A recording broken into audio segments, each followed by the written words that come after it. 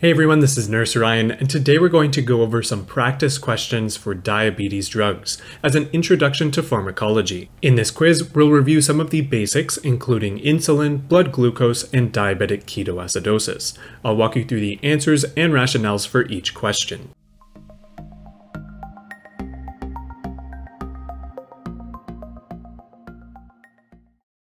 Starting off with question number one.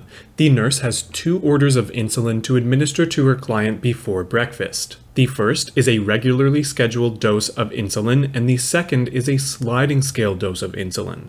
The nurse expects to see which of the following types of insulin in the sliding scale order. And for each question, I'll leave a bit of a break where you can pause and think about the answer.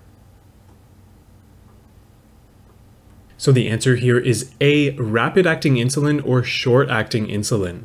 Rapid acting and short acting insulin are most often given for sliding scale orders because they have quicker onsets and are typically used to lower blood glucose right before meals. C, insulin glargine or Lantus is a long acting insulin and D, regularly scheduled orders of insulin can be administered alongside sliding scale orders. Question number two, diabetic ketoacidosis is the result of the answer here is B, a decrease in insulin leading to the breakdown of body fats. Diabetic ketoacidosis is a complication of diabetes caused by the lack of insulin-mediated glucose delivery, which results in the use of fats for energy instead of glucose. Moving on to question number three. Which of the following oral diabetic drugs will increase the secretion of insulin from the pancreas? The answer here is B, sulfonylureas and meglitinides. The increase of insulin secretion from the pancreas is one of the mechanism of actions of these drugs, but not of biguanides. Question number four, what are the three cardinal signs of diabetes mellitus?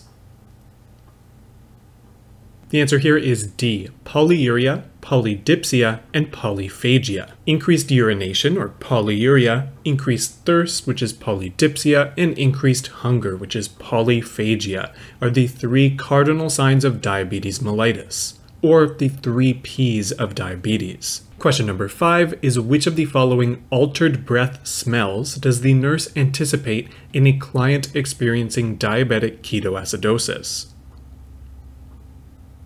And the answer here is A, a fruity breath. During diabetic ketoacidosis, ketones, a byproduct of the breakdown of fats, build up in the blood.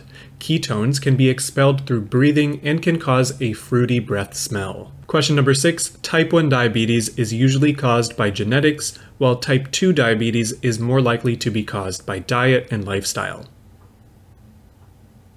The answer here is A, true. Type 1 diabetes is generally diagnosed much earlier in life due to a higher genetic link, while type 2 diabetes is usually diagnosed later in life due to modifiable risk factors. Question number 7. Which of the following oral diabetic medications must be held for 48 hours before and after a radiology test using iodine?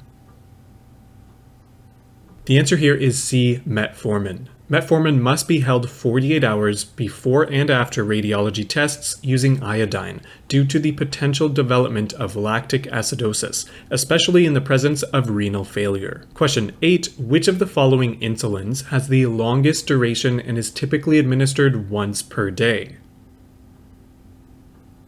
And this is C. Glargine or Lantus. Lantus has a duration of 24 hours and is most likely to be ordered once per day. And our last question for this quiz, number 9. One of the major complications of diabetes mellitus is blindness, especially if left undiagnosed and untreated. The right answer here is A, true. Diabetes can cause retinopathy, which is caused by changes in retinal blood vessels, which can eventually lead to blindness. And that's it for the diabetes drug quiz. If this video has helped you out, please consider leaving a like and subscribe. I would really appreciate it.